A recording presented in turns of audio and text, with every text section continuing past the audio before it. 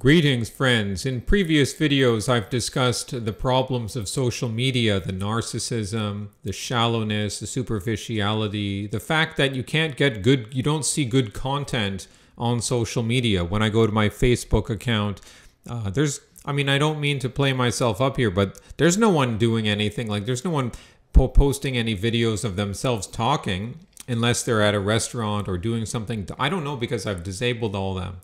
But anyways, I don't want to get back into uh, talking about social media. I want to just shift the discussion to the internet in general and, and YouTube videos, news, just gen- like reading articles or or watching videos.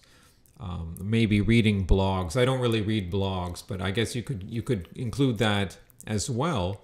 And I just think that obviously there's an addiction we have in our time to the internet. I, I suffer from this addiction to some extent. I think I have it uh, pretty much under control. I, I unplug, but um, being a, a, content creator, I spend more time, a lot of time on the internet, and uh, you know, content creating itself that can be kind of addictive too. If you want to produce a good video at least once a week, that takes time, and you can get carried away with it. It, it, it can be exhilarating at the same time as it can be slowly draining you. You might not notice that it's draining you. So you may not all be content creators, but I think it's as, as someone who uh, likes to watch videos, likes to read stuff online, it's a similar feeling. It, it, it can be exhilarating, stimulating, and you want to keep going. And then they have all these suggestions to continue, so you keep going, and the, the time can fly by. And then sometimes I even find myself clicking on stuff that I know is going to be dumb but I click on it anyways, and I'm watching this stuff, and uh, uh, you know, sometimes it does satisfy that entertainment, or, or or not, but it often is very entertaining, or or can be funny. I mean, anything really, like seeing an animal at- attacks, or or uh, or just dumb stuff, or or uh, you know, paranormal stuff, or uh, you know but then yeah there's stuff that i'm i'm watching and i'm thinking why am i even watching this? I should i should just get off right now. But then of course you watch a few more minutes it goes by and, and unclick. I mean it, it's it's uh, like facebook they admitted and maybe maybe twitter too but you know they they admitted that it was on purpose designed to manipulate the emotions of humans to operate on a subconscious level. That's going on, on in the internet in in general right? And so, like I said, I'm not perfect, and uh, because I have an active mind in general, and that's that's a blessing and a curse because, and I don't sleep very. well. I mean, I, I sleep better uh, these days, but I have to give myself more time to. I, I can't just hit the pillow and fall asleep. Generally, it takes me at least 45 minutes to fall asleep. Sometimes it can take me hours. But I feel if you're still lying in bed and you're you're deep breathing, then you'll still feel rested in the morning. Thankfully, at least I will. Um, but yeah, uh, it's that's that's having an active mind. That's that's what it's like. And uh, very cre- cre- creativity can be painful. Sometimes thoughts come to me all at once. They come at inconvenient times. So then, and then you want to write them all. I want to write them all down on, on notes. I'm sorry, I'm getting kind of off topic. It's all about inf- information, this flow of information, and um, I want to write down. I want to write down these these things. They might come all. They might not. You know, all these ideas. I have all these all these different ideas. I don't see. I don't see the point in. Uh, in sharing them all with you here it would just be a long list of stream of consciousness of good points but then i, I think yeah that's a good point but then i might not pursue that into a video because then I'll think about it later. It's like, well, maybe there's not really much to say about that, or maybe there is, or but you know, it's too much effort right now, or you know, a long, long list of uh, long list of things, and and uh, that keeps the mind active. That can be uh, satisfying. It, it, it can it can really it can even boost happiness because now you have a goal like yeah i'm going to explore that i'm going to develop that idea but at the same time it can be draining you without you being consciously aware. This is something I've suffered from being drained by uh, mental and physical effort without me being aware. And, and that can weaken certain organs in your body, it can, it can weaken your general stamina, it can cause uh, health problems. that you may that otherwise you may feel fine and then so I'm, I'm you know i'm learning to to balance this out but luckily i don't have you know i mean obviously the youtube thing content creation that's one thing but uh you can take sometimes i learn to you know take that more at my own pace that's why i don't put out so many videos but uh I also learned to tone, tone down the, the uh, consumption of all this information. Uh, sometimes I just switch to doing you know other creative activities. So when you could argue, well, then that's that's just draining you uh, just the same. But something about being being a creative activity is a bit different. It can also drain you, but I. I uh, it can be a quieter activity. I don't have to have the internet on. I can just be in, in my office here, uh, just maybe thinking in the afternoon, writing writing down thoughts, and yeah, and let a let a day go by, or even two days go by where I didn't watch any YouTube videos. And I have all these like favorite content creators, but you know, it just a list. It just becomes a list of people, and then you know, it, it's it's very. I I'm I'm not. I can't do it, and and no one can really produce uh, new content. I mean, I probably repeat myself, and I tried to say different things, but you know, most of us once you get to know us, we're going to be saying similar things, and maybe, maybe you like a certain personality, but you, you tune into them, and you know, people tend to ramble. It can be like a radio personality, like a talk, like a talk personality, or it can be political stuff. It can be comedy, MGTOW stuff, whatever. Uh, people tend to repeat philosophies. They repeat ideas you know they tell you similar stories or the same story again and again maybe a different take on it a different take on it here it's very hard and i think we all know this deep down we all know that yeah we're getting we're, we're getting that product that, that we, we we like this product so we're going to come back to that and maybe we'll learn something new but we want to come back to that product but then they're I mean, I mean, maybe you'll get tired of me. No, this free thinker silver guy. He's, you know, he's getting and I can't blame you because you know, I, I, you know, we're all human. What what can we do? We're we're not uh, we're not so special. We're gonna repeat ourselves. You you probably get bored after a while. Or I'll be talking about just something different. People move on and talk about different things, and be like, well, I don't want to, I don't need to follow this content creator anymore because they're, or even sometimes people might just subscribe to something just uh, so they like kind of like a bookmark. It's a bookmark. I won't, I won't lose this guy. I can come back to him, but they're not really interested in probably watching many of your videos or going into the, the database, but which is fine. You know, that's that's just normal. So I'm just saying there's this you can't you it's this constant searching on the internet for this gratification relatively instantly. And I think in previous times in the history, humans weren't necessarily better, but they didn't have that instant gratification available, so it forced them to develop more of an inner peace uh, an inner tranquility where things were much more bare and base. And imagine trying to study by candlelight. Um, and so that brings us to books. I mean, books, I guess that can be just as stimulating and, and draining as watching videos. I think there are some differences. Like a, a book is not making noise, it's quiet, it's more peaceful. On the other hand, it it, it takes a bit more, I think, effort to read a book. You have to be focusing on the paragraphs line by line. A little bit more effort than just laying back and listening to a video. Now, I guess it depends on the ideas in the video if you have to understand them. And I don't know. This is interesting. This is taking us into the realm of intellectual, like, like not ideas, but the actual process of thoughts and um, yeah, it's, it's I don't know my I'm not a neurologist, so and you know different parts of your brain light up at certain times when you're dealing with certain concepts. So I, I guess it can be similar, but I, I it's a bit more st- strenuous, I think, uh, to read a book on average. Um, but at the same time, the book is quiet. There's this one-on-one relation. You're not really expecting this complete instant you're not really expecting this complete instant gratification with the book because you know it's a long call and i like to finish books and i'm not a fast reader partic- i could be a fast reader if i really train myself to but i just have never really because then again, if you're just speed reading through something, then you lose part of the savoring. I like to savor the book. I like to. I, I don't like the idea of reading uh, a whole book, like like part of a book, and, and leaving it unfinished. Even if I don't really, even if I'm getting bored with the book, I'll usually finish it. Even if I come back to it over months, I might take even up to a year to finish a book, just reading bits of it here and there.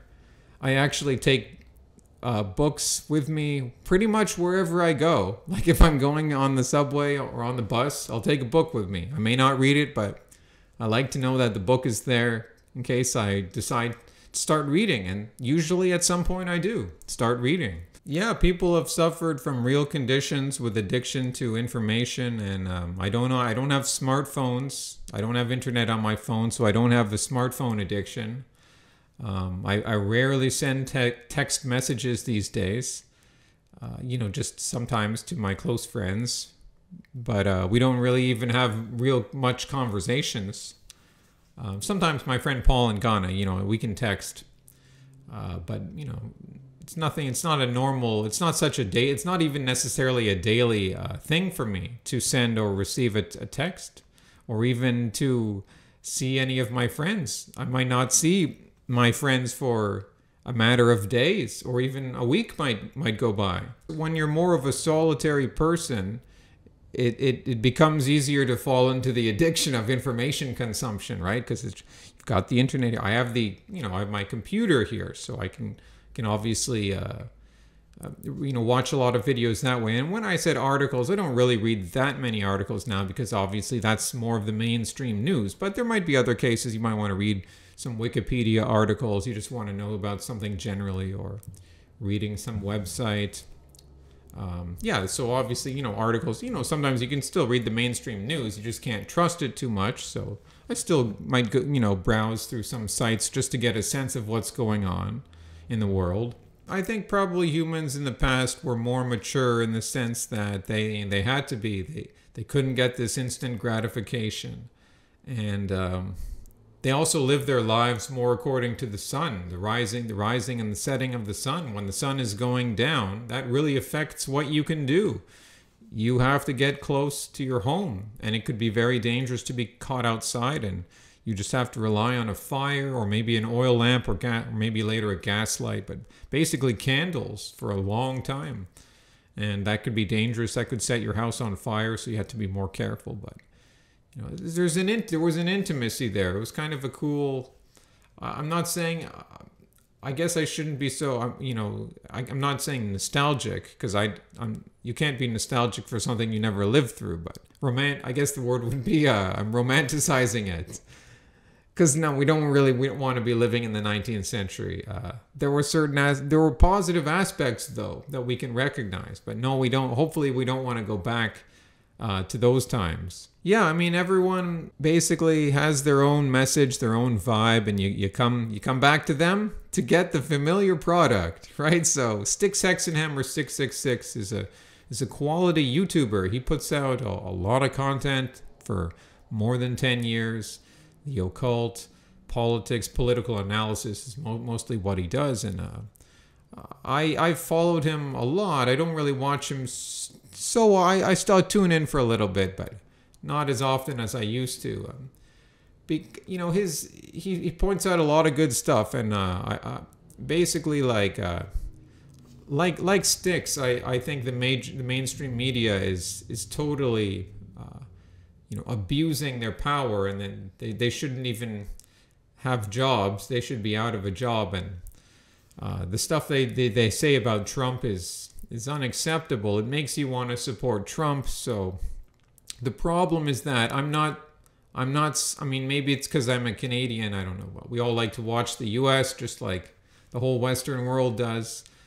Um, but I, I can't. What on Styx is in his comments section. I mean, it's so big. He's got such a large following now, but it's just a big echo chamber. So that's the other thing with this uh, this instant gratification is you see it in these echo chambers. And I mean, I'm not I'm not singling out Styx. I mean, they, you could you could find this in really it's just just it's a normal social phenomena. So maybe I shouldn't really be criticizing it, but and just uh, Styx is irresponsible when he talks about the economy. I've pointed this out in a video titled uh, "Styx Styx doesn't do his homework on the economy." So I'll, I'll leave a link to that. And uh, I, I'd like to believe that Trump is making the economy great, but like, he, can you be more specific? Can you can you show me the real evidence? Do you really just believe these these blanket statements that are released, like everything's great and yeah, it's it's like uh, whereas like suddenly it was a bubble before, but now everything's great, and um, so people just lap it up in these comment sections. They're just like they're just like uh, buzzing and and and and uh, you know just they're ex- they're exuberant. And and it's like because it's true like the, the the left just hate Trump. And so obviously you know if that hate is real then clearly Trump must be telling the truth when he says the economy is great, right? But but I mean, I, I don't see how they fall into this sort of echo chamber. Like, really? now you've made up your mind that you want. Now you got the pause. You got a plus. You got points up. You got you got like ding. Like it, it's like when you're ch- ch- tuning into uh, to Trump. Oh no, what am I saying? Tuning into to Styx, and you're getting that that gratification. Like, yeah, yeah my group here, it's like we're doing, we're making America great again, and it's like. I, I just sit on the fence and I'm just like, I think you guys are just partisans. you guys aren't being very diligent. You guys aren't really looking at what's going on in America. And I'm all for Trump. I like his personality. I wish him all the best. And seems to be getting, at least he's getting immigration in the right direction, I think. Um, uh, but the economy's uh, not getting better, and not when you have a $21 trillion debt. But, you know, I'm going off topic here. I'm going I'm off into politics here. I was trying to keep this focus to, you know, this sort of psychological aspect, this addiction to information, instant gratification uh, of our internet age. So for the Generation Xers, that's cool. Very cool time. Very amazing music. They didn't grow up with the internet. Jesus. I was just listening to Jesus and Mary Chain today. Some songs, uh, Bauhaus or Bauhaus, however you pronounce that. Uh, and what else? Uh, yeah, Alice in Chains. Listening to the Rooster, you know, that's an amazing song. All these 80s and 90s bands, the best music, and it's sad that I try to tune into good music from from today and I don't even know what to look for. Maybe it's because I'm a I'm not in my teens anymore, but I don't know what kids listen to uh, these days. But you know, part of it's that the Generation X generation was more creative, more resourceful. They that's why they could produce uh, better music because they were left to their own. They weren't plugged in at such an early age. I mean, internet didn't come around until they were already in their their 20s in most cases or or, or older. And uh, part of the other aspect is that white culture has been more uh, flooded by other other groups in America, and, and, and rock rock is dead because white culture has been completely flooded, and rock music, uh, it, you know, they say it came out of black music. Yeah, I guess sort of, but I mean, it was essentially it's a white cultural phenomenon from America, from the West, from Britain to an extent as well and uh, and that's all been flooded right now. So you're seeing you're seeing a cultural disruption, and it's that's why it's sad because I know we must still have the ability to produce good music now, and that's different because you can just sort of chill out with music. It's not the same thing as consuming information. You're not you're not thinking so hard. You're just listening to it. So it is a little different to just listen to music when you got a playlist or an album or something like that. Um, but I just but part of the problem is you have to select each song usually you know to find a good playlist that that can be difficult. And you know billy corgan pointed out that it, you know in his interview with uh, when he was being interviewed by joe rogan that basically uh, it's like in the old days before the internet you had to listen to the whole album and that forced you to appraise the quality of the album. Does this actually sound good? Do the did these guys do they earn the you know that I should keep paying them to get more albums. And the, the act of uh, scrutinizing it actually uh, makes you form a bond with the artist if they deliver. If you say, yeah, well, yeah, this actually is good, then you form more of a lifetime bond and you'll come back and buy more of their albums in the future. But the internet, Napster, and all that, all those developments that broke that chain. Whereas now we just want the instant gratification of this song, uh, stream it right now. And I'm not saying there's necessarily that's bad. I mean, that was kind of just the way of things. Maybe there'll be some way of going, changing things in the future. I don't know, maybe in a positive way. I haven't thought too much about that. But, he, he had a good point, Billy Corgan. And uh, I don't know what he's making some new music now. The Smashing Pumpkins, they were all right. They weren't really my favorite bands. They had some good songs, but overall their band, their albums were kind of weird. A book is just like a, a nourishing thing. Like uh, I'm still slowly working my way through uh, Martin Luther selections from his writings. I'm on like I'm almost 400 pages in. Uh, have about 100 more to go, and it's like you know, I I'm glad I, I picked out that book. I had a good feel about it. It worked out well it's like you're eating a meal slowly. You don't have to necessarily speed read something and just get it done. Sometimes that you have the wrong attitude because you I got to get this done. I got to then and then you're on to the next thing. Is like take your time with it and like allow yourself to digest the book over time. And you slowly I mean it depends if you got a good book. You have to get something important from history. See the good thing about books books books were always an optimistic, empowering thing for me from a young age, from when I was in, in from when I was a teenager and, and started to realize that I like books and history and reading. And then so in our in our confused millennial times when it's like what am I going to do with my life? How am I going to fit into this world? I don't want to work at McDonald's. I, I'm I'm not an engineer. I'm not a technical person. I'm not I'm not going to go to a trade school. And uh, what am I going to do? So books were always there because it was always like, look, no matter what happens, if you're at a loss for what to do economically, I'm not saying then just waste your time on books because that's not going to make you money.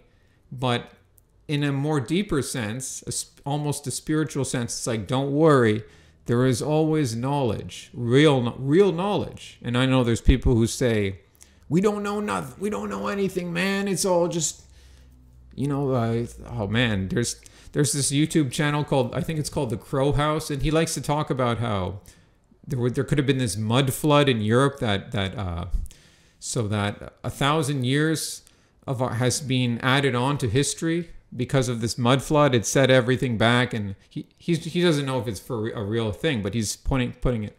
And I mean, it's like, yeah, that could be true, but I mean, and he's a smart guy, so I'm not discounting his idea, but that sort of thinking is often what what lazy people who don't go they don't go read all, all these books. It's almost like an easy thing to say, yeah, it's all it's just we don't we don't we don't know anything, but they don't read all these books, and and uh, so I think that at least you have the sense that there is some truth in the world. There is this real thing called history. You can get a sense of the deep questions. You can get a, a better sense of uh, who we are, where, where we came from, or where we may be going. You may not be fully satisfied, but you can get in that direction. And, and books are there from history, and it's almost like an intimate, maybe intimate's the wrong word, but a personal encounter with a personality you and them, it's like I can see Luther, I can hear him. I imagine what he must look like. I mean, of course, they don't really know, but it's just, it's like there he is eh, writing in his study, this in the 16th century, and you're just listening to his words from 500, 500 years later, and it's like this man's alive in his words and that you could say that about many other writers. I'm just using that as an example because that's who I happen to be reading uh, at the moment. I'm reading some other books too. I'm reading a history also of the uh, the uh, what's well here it is uh, the de- the Dead Hand Dead Hand. Uh, the sorry, it's got a sticker here. The untold story of the Cold War arms race and its uh, dangerous legacy. This was a used, you know, I get used books because it's cheap. It's good good condition from Came out about 10 years. Fascinating read. It got the winner of the Pulitzer Prize. I'm just about uh, 50 pages in. It's, it's fascinating. The, the Soviets, they also had an anthrax program in addition to nuclear weapons, which they didn't let the West know about. But, you know, that's just a little thing about the book. Yeah, when you're with a book, it's just this this more calmer experience. It, it doesn't need to be so drained. I guess it can be. You can get addicted to reading a book too. So it's not entirely different, but you know, it's it's more of that focus because it's not like the video where you can just sit back, listen, and it's going to keep playing. It's it's more of an you do that when you're in a quiet place, right? You can be listening to your video when you've got headphones on, you're in a busy place, but generally read a book, you want to be in a quiet. Well, no, that's not necessarily true. People people read books in all sorts of noisy places, but ideally, you want to be in, you know, a quiet place. The book is the book is quiet. The book is not talking and and books are never going to go away. They've been saying for years that books will disappear they'll be replaced by computer screens and uh, but i think we already realize that that's not happening it's not not ever going to happen um, they may continue to be displaced um, but they're never going to completely go away and any group of people any any powerful or wealthy person any government any spiritual organization, anyone who really wants to preserve some knowledge, they're never going to just want to leave it all in an electronic form. Deep down, everyone knows that they would you would want it in in on paper, and probably if it was really important, you would want it on in stone, and hence what we see from ancient history. It's not a coincidence that you know, just because they what am I saying? Just because they had stone tablets doesn't mean they were uh, necessarily primitive. They could have had all sorts of other technology, but what we what is left to us is the stone tablets, which survive. For example, from ancient Sumeria. Well, those were clay tablets, but you know, same idea. Too much internet is also depressing. And I mean, I guess it depends on what sort of stuff you listen to, but you know, mostly on YouTube, it tends to be on the right. People more tend to be not so, uh, not so to the progressive sort of mindset in general. So, if that's the case, you we get bombarded by censorship. It's coming. Oh, the left is doing all these bad things. Antifa is doing all these bad things. Everything's bad, bad, bad. European Union's bad. And it's this spider uh, clamping down on us. And uh, it's like they make a pretty good argument that that's the case. This is probably happening, but it's continually reinforced. Everyone, like if you follow someone like oh uh, Computing Forever. Sometimes I call Computing Forever OK Computer, like the Radiohead album. But, anyways, uh, Computing Forever. Yeah, he'll follow the same stuff that Sargon follow. You know, similar. Styx Hexenhammer is similar. It's Paul Joseph Watson similar. Stefan Molyneux. It's like very negative stuff. Just hearing how all the political situation is so tense and Trump's doing well, but all these bad storm clouds are gathering, and there's and then there's the censorship. It's like, oh, my my YouTube channel could be censored because they're just social justice warriors, and and I may as well just accept that my YouTube channel is going to be terminated, and I have to start opening up accounts with BitChute and all these other uh, websites because it's just this, this censorship and all this all the politics is so depressing and then reading the mainstream news is just as depressing and then, then you start realizing how they're mind controlled because then the people might you might like who aren't mind controlled are giving you depressing information and then the people who who aren't giving you this the real information they could still be giving you depressing information and they're mind controlled or they're at least trying to mind control you because they're the mainstream lamestream news right? Not that I really watch them anymore. Not, not that I have a television. Do you have a television? So yeah, I think I'm going to wrap up this video, maybe go for a walk, you know, while the sun's still up. Maybe smoke a little more, not too much, just a little bit. No, I don't try to I don't drink caffeine anymore. I haven't drank any caffeine for months and months. Months and months. I don't need caffeine anymore. I just stopped drinking it. It was recommended to me by by my acupuncturist, and, and uh, I said, "All right." And uh, yeah, you know what? You don't need caffeine because you can get that energy just after two weeks or three weeks. Your body will naturally wake you up if you get enough sleep. I've changed a lot of stuff in my life. I mean, going to bed at like 10:30 p.m. recently, extremely early. Getting up at uh, eight o'clock in the morning. Yeah, for me, no more caffeine. That's all. That's all good. And uh, what I try to do, but you know, because I've talked about my overactive mind, I try to avoid situations where my mind is too active, and then I just go straight to bed. Because then I'm gonna lie there a lot longer, just active, thinking, creative, thinking about what am I gonna do tomorrow? What's my plan? What's my intellectual plan? What else is going on? A good feeling, but too stimulating, not good. And then in the morning, you might, I might feel, uh, you know, overexerted. And the thing that I try to do is leave some time in the dark to unplug in the darkness. Like to be a little high, not not too stoned, because then you know being too stoned that can make your mind too. I mean, I guess it depends on what kind of weed. If it's the kind of weed, I forget the one that makes your uh, your mind more active, that's not good. But but either way, uh, you know, like look, I'm not saying weed is good or bad. I'm just it's it's that's my that's my one thing. That's the one thing I do. I do not drink alcohol. I do not. I almost never smoke cigarettes. I don't buy cigarettes. Sometimes someone might offer.